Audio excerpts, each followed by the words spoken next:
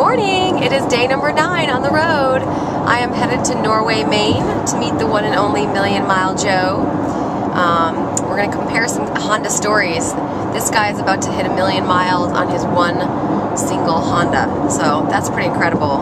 Um, I love that there are more people out there like me that love love the Honda that much to keep it around that long. Um, so I am excited.